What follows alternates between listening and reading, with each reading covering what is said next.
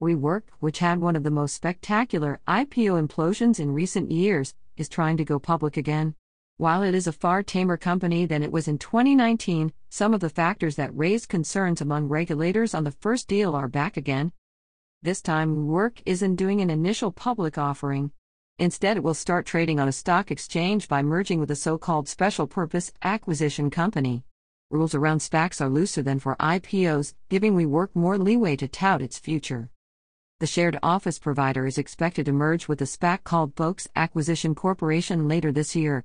As the two entities promoted the deal to investors, they painted an optimistic scenario for the company's growth and profitability. BowX' chairman described WeWork in a call with investors as a $5 billion revenue company, though that figure is a projection rather than a current number. When describing WeWork's size, the company counted units that WeWork doesn't own directly. WeWork is predicting a rapid recovery from the pandemic downturn, which hit its business particularly hard because few people were using offices, much less shared space, and because it was still on the hook for long term leases. The company is also using a new profit measure that shows higher margins than it claimed in late 2019. In the run up to the IPO, the Securities and Exchange Commission told WeWork to change certain profit and growth measures that it was using. The recent investor presentation by BowX has echoes of the company's approach in 2019, said Minor Myers, a law professor at the University of Connecticut who specializes in corporate finance. The SEC could push back hard again, he said, unless WeWork tones down these claims in its official filings with regulators, expected later this month.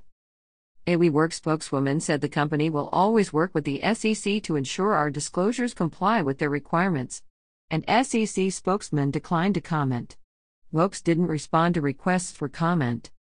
SPACs raise money as a shell company and an IPO, and then look for a private business to combine with, a deal that transforms the target into a public company.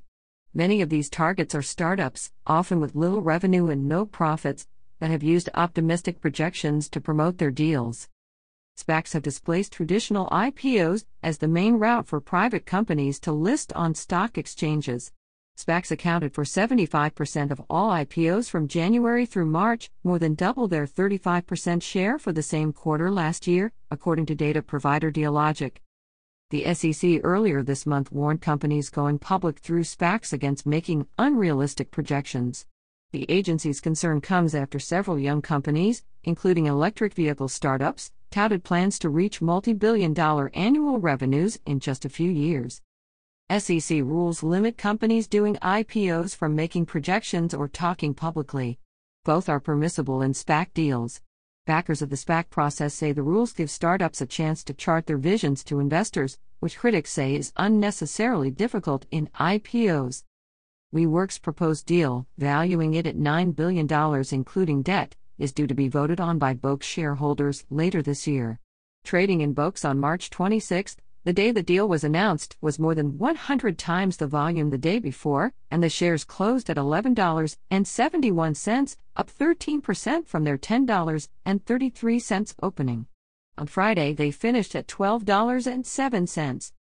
The WeWork call with investors included its chief executive officer, Sandeep Mathrani, and BowX' chairman, Vivek Ranadive, who called WeWork a $5 billion revenue company just with their existing capacity.